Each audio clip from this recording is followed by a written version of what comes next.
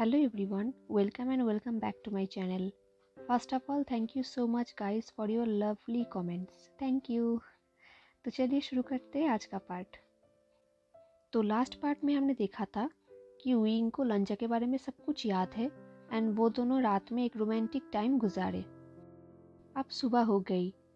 As usual लंजा नींद से जाग गया।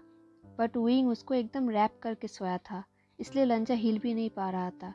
तो उसने डिसाइड की कि वो कुछ देर और वेट करेगा। अब धीरे धीरे टाइम बढ़ता जा रहा था। सूरज की रोशनी विंग के फेस में पड़ रहा था। लंजा विंग के फेस को ही देखा जा रहा था।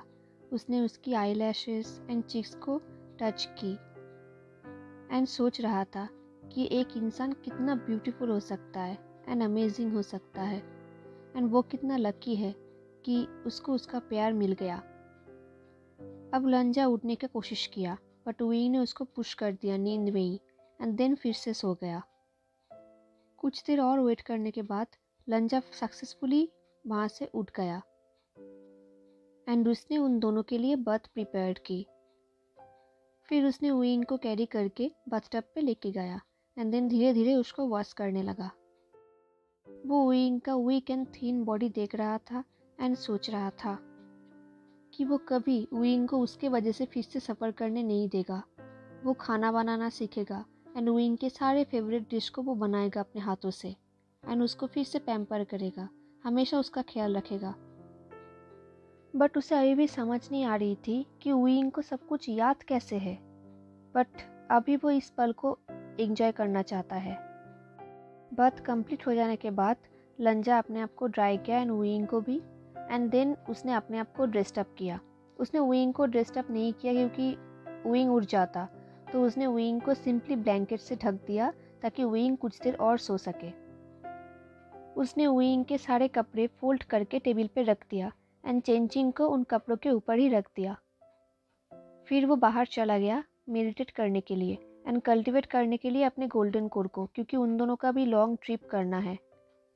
उसे अपने आप को स्ट्रांग बनाना है, क्योंकि क्लाउड रेसेस लौटने के वक्त अगर कोई ट्रैवल आए तो वो सब कुछ संभाल सके। क्योंकि उसे डर लग रहा था कि अगर फिर से विंग कोई सफ़र करे तो। अब घर के अंदर विंग जाग गया। वो आसपास देख रहा था बट लंजा तो वहाँ पर नहीं था तो उसको बहुत ही एम्प्टी लग रहा था। उसने अपने फेस को पिलो पे बरिट किया एंड सोच रहा था, लंजा को क्यों हर रोज़ पाँच बजे उठना होता है? क्या वो एक दिन के लिए भी लेज़ी नहीं हो सकता? वो धीरे धीरे उड़ने की कोशिश किया। उसका गोल्डन कोट स्ट्रॉन्ग नहीं है, इसलिए उसका बॉडी को हील होने में थोड़ा टाइम लग रहा है। अपने बॉडी के मसल्स के पेन के लिए उसे अपने आप को ओल्ड मैन लग रहा है। उसने देखा, टेबल पे उसका क्लोथ्स एंड डेमोनिक फ्लूट पर रखा हुआ है। ये देख के उसने स्माइल की। देन उसने अपने आप को ड्रेस्टअप किया एंड लंजा को ढूँढने लगा। उसे पता है कि लंजा दूर नहीं जाएगा। जब विंग बाहर गया, उसने देखा, लंजा एक ग्रीन ग्रास के ऊपर पेड़ के नीचे मेडिटेट कर रहा है। लंजा को ऐसे देख के विंग का हार्ट वैसे मेल्ट ही हो गया। उसके आँखों से खुशी की आँसू आ रही थी। लंजा का फ्लाउलेस ग्लोइंग स्किन, जिसमें मॉर्निंग की सनलाइट पड़ रहा है और और भी ग्लोइंग लग रहा है। उसका बैठने की पोस्चर, पीसफुल एक्सप्रेशन लंजा जैसे एक गॉड की तरह लग रहा है। उइंग को लग रहा था कि वो लंजा को अभी खींचे और उसको डीप किस करे। ये सोच के ही उइंग के लिप में एक स्माइल आ गई। वो लंजा के पास गया एंड उसके पास ही बैठ गया। दोनों ने घंटों तक मेडिटेट की एंड एक दूसरे की प्रेजेंस एंजॉय कर रहा था साइलेंटली फिर लंजा ने कहा, तुमने ये कैसे किया? उइंग को पता है कि लंजा किस बारे में बात कर रहा है। उइंग ने कहा मैं एग्जैक्टली exactly श्योर नहीं हूँ। लंजा तो शौक ही हो गया। वो विंग की तरह क्वेश्चनिंग लुक देकर देखता रहा। विंग ने कहा, मुझे पता है कि मैं क्या करना चाहता हूँ बट मैं श्योर नहीं था कि एक्चुअली वर्क कर जाएगा। ये बोलकर वो एक डिसबिलीफ की तरह स्माइल दे रहा था।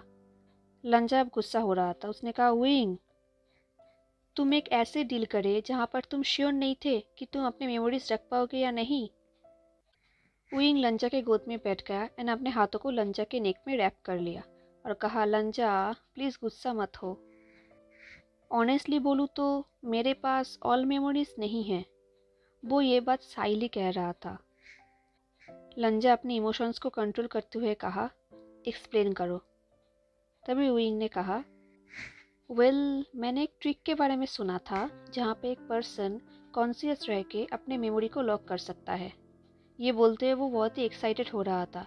उसने कहा, जैसे कि उसे एक बॉक्स में बंद कर दो एंड चाबी को कहीं दूर फेंक दो। मैंने ये सालों से ट्राई किया था बट इसमें मास्टर नहीं हो पाया था। लंजा के हार्ट बीट जैसे रुक गया था। ये सोच के क्यूइंग ने फिर से अपने आप को रिक्स में डाल दिया था। कुछ भी ना सोच के, कुछ भी ना समझ के।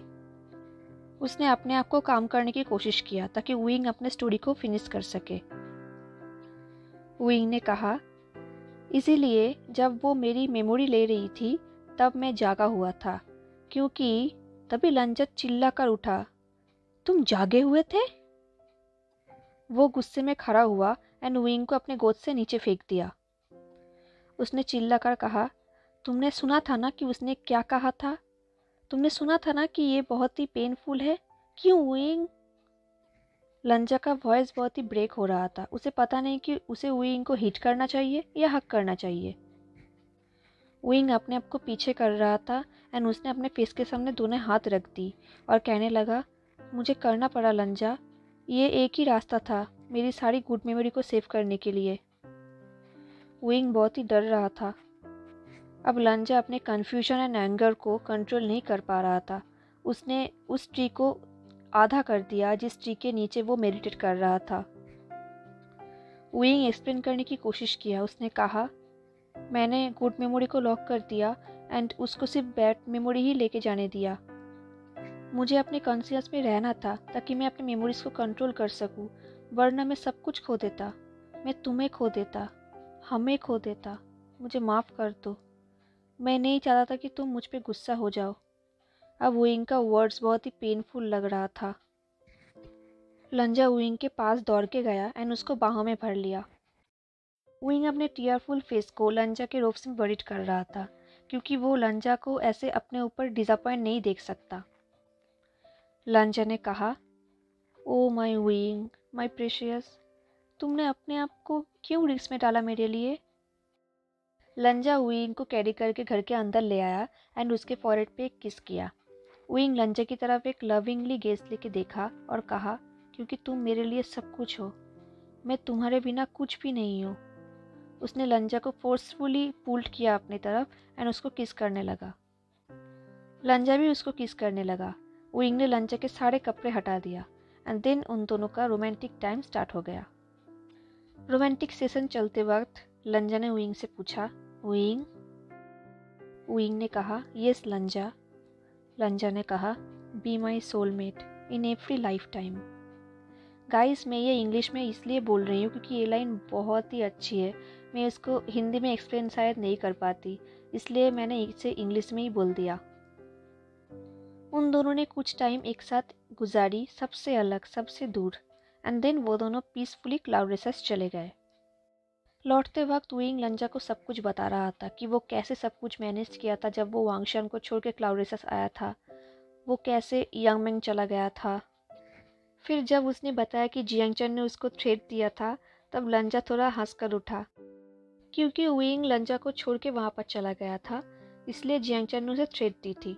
लंजा को ये सुन के बहुत ही अच्छा लगा था। वो मन ही मन में सोच रहा था कि नेक्स्ट टाइम जब भी वो जियांगचन को देखेगा, उसे थैंक यू कहेगा। जब वो ऑलमोस्ट कुसु में पहुँच गए थे, वो दोनों बहुत ही शांत हो गए थे। उन दोनों के अंदर बहुत सारे थॉट्स चल रहे थे। इस लॉन्ग पीरियड में उन दोनों के बीच जो भी हुआ, वो सब कुछ उन दोनों को याद आ रहा था। उन दोनों ने बहुत सफ़र की थी। वो दोनों ऑलमोस्ट मर ही जाते। ये सोच के उन दोनों का हार्ट ब्रेक हो रहा था। वो इनको खुद से ज़्यादा लंजा के लिए डर लग रहा था। एंड लंजा को विंग के लिए डर लग रहा था। लंजा चलते चलते रुक गया एंड कहा विंग विंग भी रुक गया और कहा, यस लंजा। लंजा ने विंग की तरफ़ कुछ देर देखा और कहा, तुम्हें बैड मेमोरीज याद नहीं, बट बाकी सबको याद है। वो सब तुम्हें भूलने नहीं देंगे इतने इजीली विंग ने डिफेडेड वॉइस में कहा, मुझे पता है Lanja but it's okay it will be okay at least जब तक मैं कर सकूँ इंजॉय तब तक मुझे इंजॉय करने तो इस हैप्पीनेस को, लंजा। प्लीज़ लंजा ने नोट किया। एंड विंग को हक कर लिया। विंग ने भी अपनी आँखें बंद कर ली एंड लंजा को हक कर लिया। एंड फाइनली वो दोनों क्लाउड रेसर्स पहुँच गए। एंड थैंकफुली दो जूनियर्स के बारे में विंग को अभी भी याद है। वो दोनों जूनियर्स अभी गार्ड दे रहे हैं। विंग दौड़ के उन दोनों के पास गया। एंड चिल्लाया, लान सिजुई, लान जिंगी। वो दोनों ये साउंड सुनकर तो जंप कर उठे। वो दोनों अपने तलवार को खोलने ही वाले थे, फिर उन दोनों ने देखा एक क्रेजी मैन उन दोनों के पास ही दौड़ के आ रहा है। विंग ने अपने आप को स्लो डाउन नहीं किया एंड फाइनली वो तीनों नीचे गिर गए ज़मीन पे। उन दोनों को विश्वास ही नहीं हो रहा था उनका favourite teacher friend and Sizhui का पिता फाइनली लौट आया है। उन दोनों ने देखा कि लंजा वहाँ पर ही खड़ा हुआ है।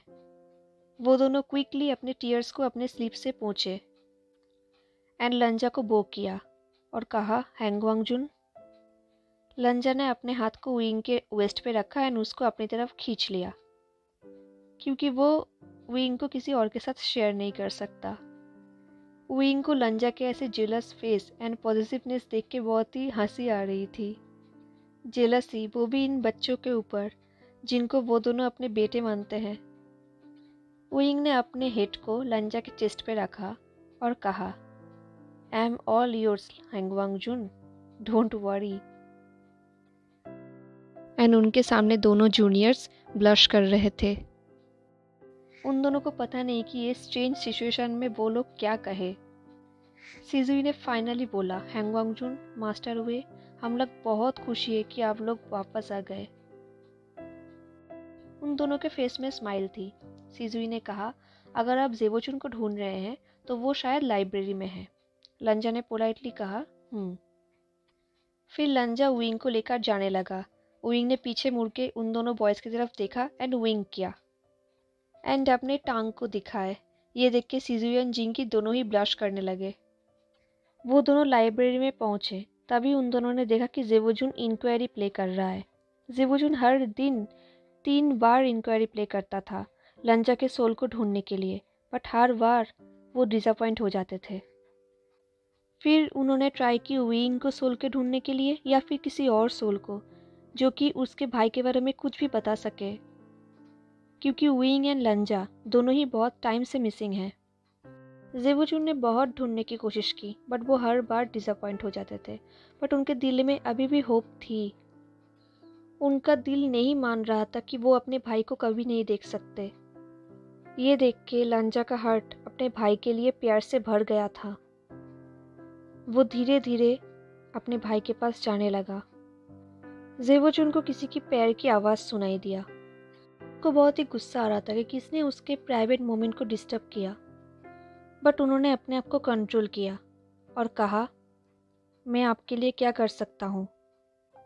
कोई जवाब ना पाकर उन्होंने अपने हेड को उठाया और देखा, तभी उनके हार्ट जैसे फ्रोज हो गया था।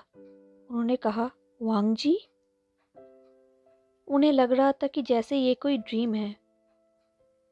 लंजा ने कहा, भाई, आपको देख के बहुत ही अच्छा लगा। जेवचुन के हाथों से अपने बांसुरी नीचे गिर गया था। वो दौड़ के लंजा के पास गए एंड उसको हक कर लिया, टाइटली। उनके आँखों से आँसू निकल रही थी। लंजा ने भी उनको हक कर लिया, जो उसने बचपन से कभी भी नहीं किया था। कुछ टाइम के बाद वो दोनों अलग हुए। फिर जेवोचुन ने विंग की तरफ़ देखा एंड स्माइल किया एंड कहा, तुमने उसे ढूंढ निकाला। बट कहाँ? कैसे? जेवोचुन को आंसर चाहिए थी लांजा एंड विंग से। वो दोनों जेवोचुन को एक सोफे पे बिठाए उन दोनों को डर लग रहा था कि जेवोचुन शायद नीचे गिर जाएँगे। उन दोनों ने जेवोचुन को सब कुछ बताया। जेवोचुन, ये सब सुन के तो शॉक्ड ही रह गए। लंजा के ऐसे चेंजेस देख के जेवोचुन को बहुत ही प्राइड एंड जॉय फील हो रहा था एंड वो स्माइल करने लगे। सब कुछ बता देने के बाद लंजा एंड विंग एक दूसरे की तरफ़ देखने लगे एंड एक स्मिक करने लगे, क्योंकि ऑफ़ कोर्स उन दोनों ने सब कुछ तो जेबोजुन को बताया नहीं था। उन उन दोनों के पर्सनल मेमोरीज़ के बारे में तो जिवोजुन को वो लोग बता ही नहीं सकते, और बताना चाहते भी नहीं। फिर लंजा ने विंग के हाथों को अपने हाथों में पकड़ लिया। बहुत घंटों से लंजा एंड जेबुचुन बातें कर रहे थे, इसलिए बहुत टाइम के लिए वो विंग को ना तो अपने बाहों में भर पाया था और ना वो दोनों क्लोज आ पाए थे। जेवोचुन ने काइंडली कहा, वांग जी विंग थैंक यू कि आप दोनों ने मेरे साथ इस इनक्रेडिबल स्टोरी को शेयर किया। बट मैं अभी भी वॉरिड हूँ क्योंकि वो औरत अभी तक पकड़ा नहीं गया एंड वो कंटिन्यू इनोसेंट लोगों की मेमोरी स्टील करेगा। एंड मैं मास्टर वे के लिए भी कंसर्नड हूँ। उनके मेमोरीज को लेकर एंड अदर्स उनके ये न्यूज़ सुन के क्या रिएक्ट करेंगे वो लेकर। विंग ने स्माइल की एंड प्राउडली कहा, जेबुजुन, आपको लगता है कि मैं उसको विदाउट पनिशमेंट जाने दूँगा? लंजा विंग की तरफ़ एक shock puzzle and confusion look लेकर दिखता रहा, क्योंकि उसे भी नहीं पता इसके बारे में। विंग ने स्माइल की एंड कहा जब वो मेरे मेमोरी लेने वाली थी, उससे पहले मैंने उसके ऊपर एक ट्रैकिंग तरिश्मा लगा दिया था। मैं नहीं चाहता कि वो उसको ढूंढ ले। इससे पहले हमें उसको ढूंढना पड़ेगा। फिर उसने अपने उंगली को घुमाया एंड देन उनके सामने एक ग्लोइंग रोशनी खड़ी हो गई। तभी विंग ने एक बनी स्माइल लेके कहा, सिर्फ़ आप लोगों को इसको फॉलो करना है। देन आप लोग उसे ढूंढ सकते हैं। विंग ऐसे स्माइल कर रहा था जैसे कि वो एक प्राउड टीचर हो। लंजा को ये देख के बहुत ही प्राउड फील हो रहा था। उसे ये भी लग रहा था कि कोई भी विंग से चैलेंज में नहीं जीत सकता। उसने विंग के हाथ को और भी टाइटली पकड़ लिया। उसे लग रहा था कि वो अभी उइंग को जिंगशी में लेकर जाए एंड उन दोनों का रोमांटिक सेशन स्टार्ट कर दे। लंजा विंग के क्लोज आने लगा एंड विंग भी वही करने लगा। इन दोनों लवर्स को क्लोज देखकर जेवोचुन को बहुत ही अच्छा फील हो रहा था। उसे लग रहा था कि फाइनली वांगजी ने अपने सोलमेट को ढूंढ ही लिया एंड वो अभी हैप्पी है। उन्होंने अपने बांसुरी को ज़मीन से उठाया एंड खड़ा हुआ एंड कहा, मैं हमारे सबसे काबिल ट्रैकर्स को भेजता हूँ उसको पकड़ने के लिए ताकि हम उसको पनिशमेंट दे सकें। विंग तभी लंजा बोलकर उठा। नहीं। जैसे कि वो कमांड कर रहा हो एंड देन उसने विंग को वेस्ट को टाइटली पकड़ लिया। जेवोजुन ने नोट किया, क्योंकि उन्हें समझ आ गया कि लंजा क्या कहना चाहता है। वो उइंग को प्रोटेक्ट करना चाहता है। जेवोजुन ने कहा, मैं समझ सकता हूँ। तीन दिनों में एक बैंकवेट रखा जाएगा। तुम दोनों के सेफ्टी रिटर्न के लिए एक सेलिब्रेशन रखा जाएगा। जेवोजुन ने कहा हूँ बट मुझे नहीं लगता कि मैंने बहुत अच्छा जॉब किया है। मैं नाइस था। क्यों, मास्टर हुई आपको मुझे एक किक मारना चाहिए था। ये बोल के उन्होंने विंग के कंधों पे एक पंच किया छोटा सा एंड स्माइल करने लगा। लंजा ऑलमोस्ट ग्रोल कर उठा अपने भाई के ऊपर कि उसने विंग को टच किया बट उसने अपने आप को कंट्रोल किया। ये देख के विंग ने गिगिल की। उसने लंजा को पकड़ लिया। जेबुचुन लाइब्रेरी से बाहर निकलने के वक्त उन दोनों को एक बार फिर से देख लिया और उनको बहुत ही शांति मिल रहा था, मन ही मन। बहुत दिनों बाद उन दोनों को एक साथ उन्होंने देखा है। विंग ने प्लेफुली कहा, लंजा, मुझे जल्दी से जिंगशी ले चलो। इससे पहले कि तुम अपना प्रॉमिस तोड़ दो। लंजा कंफ्यूज हो गया और पूछा प्रॉमिस विंग लंजा के क्लोज आया एंड अपने हाथों को उसके नेक में रैप कर लिया और कहा, आज का दिन ऑलमोस्ट ख़त्म होने वाला है एंड तुमने मुझे प्रॉमिस की थी। एवरी डे ये सुन के लंजा ने विंग को अपने बाहों में भर लिया एंड उसको कैरी किया जिंगसी तक एंड अपना प्रॉमिस फुलफिल किया। More than once hey guys तो कैसा लगा आज का पार्ट आज का पार्ट भी बहुत ही अच्छा था ना? अगर आपको अच्छा लगा हो तो लाइक कमेंट शेयर ज़रूर कीजिएगा एंड सब्सक्राइब कीजिएगा मेरे चैनल को। मिलते हैं नेक्स्ट पार्ट में। तब तक के लिए tata take care stay safe bye